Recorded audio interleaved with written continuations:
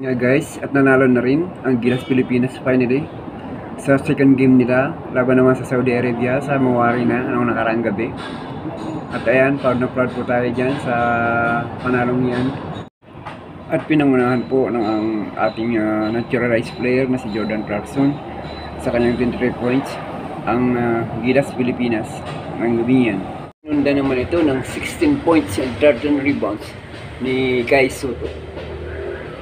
Total score po ay 84-46. At lamang ng ah, 38 po ang Gilas Pilipinas laban sa mga Saudi Arabians. Sa pagtatapos ng unang yugto ay lamang ng 6 points ang Saudi Arabia nang biglang nakapag 3 points buzzer beater ang ating ah, naturalized player na si Jordan Clarkson. 14-8 nang dapat. Eh, naka 3 points. Kaya 14-11. Yehey, nanalo din. Finally, against Saudi Arabia. Ito po, dumating ang grupo ni na President Bongbong Marcos para manood. Yun po. At pati ang Pangulong Bongbong Marcos ay nanood po ng labang yun sa MOA Arena nakarang gabi. At walang pagsidla ng tuwa ang ating Pangulo. Kabilang banda, ay hindi naiwasan ang mga Gilas fans na hindi na sumasang-ayon kay Coach Chad bilang head coach ng Gilas. Marami sa kanila ang nagpahayag ng kanilang damdamin sa loob ng uh, Muwari na at hindi lang sa Muwari na kundi pati na rin sa mga social media. Hindi naman sinang-ayunan ni Dwight Ramos ang ganitong sistema.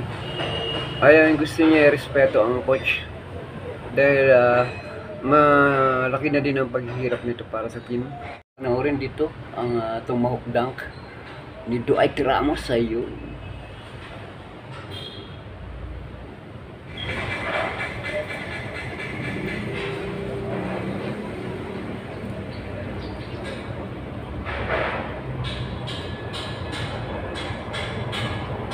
You know?